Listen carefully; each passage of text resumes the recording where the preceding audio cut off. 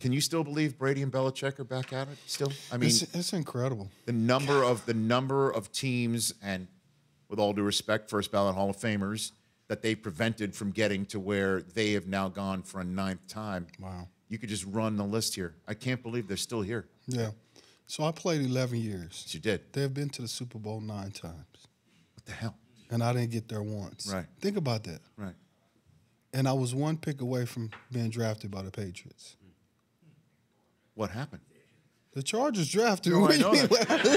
no, no, no, no, no. But, No, what I- I, know that's what happened. They didn't. They didn't. but so come I- up, they didn't come up and come get you. So I went to uh, so I went on a visit to the Patriots, and that's when Charlie Weis was the offense coordinator. Mm-hmm. And I go to Boston, and I, I really like the visit. I like Charlie. I love Charlie Weis. Did you meet with Bill? I did meet with Bill. You know, we sat in his office right above the stadium, right there where you're looking out at the stadium.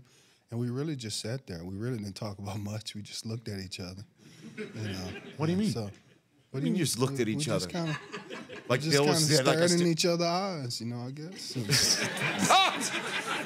So you're saying it was awkward? Is that what you're No. I mean, I just, you know, you know how Bill is. He just, there's only a few things he probably wants to know about you, and I, I guess he was trying to get a sense of, you know, was I passionate about football? As most coach, coaches do, you're Right. going to invest a first round pick on a guy.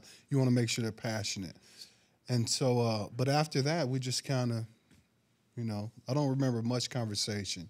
So do you think? Because I'm like, you're fifth overall, and they're choosing Overall, sixth. I think they had the sixth pick. They had the sixth point. pick. This is the year that Brady was about to be Yeah, he was Mo finna be- Lewis into Exactly. greatness. Okay, They- and so this is coming off of the 2000 season in which Brady was drafted, Right. and Bledsoe and, and the Patriots didn't do as well as they had thought they could. Do you think they would have chosen you if you were available? Well, they said they were going to cho- choose me. Charlie Weis promised me if I was there at six, because they needed a running back. They needed a running back bad that year, and so uh, yeah, when the Chargers drafted me, I think they took Richard Seymour. Richard Seymour. pick. Yep.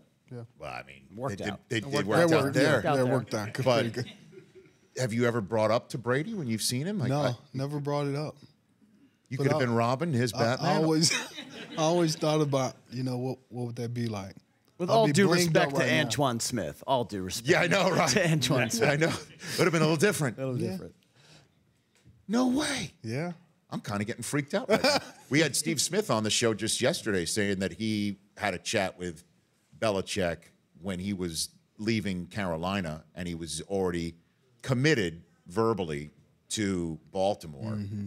And his phone went off and he looked down at the call waiting and it said William Belichick on the phone. And he was basically like, Is this what I think? Like, hello? Mm, you know, and it really was him. And he came close to doing that, but he had already made a commitment to Baltimore and he thought that that was going to work out. That's one person, a name that you really it's hard to turn down, right? You know, you look at your phone and says William Belichick. You're Yeah. like, oh my, it's like the president. Yeah. You know. The Rich Eisen Show, weekdays at noon Eastern on Audience.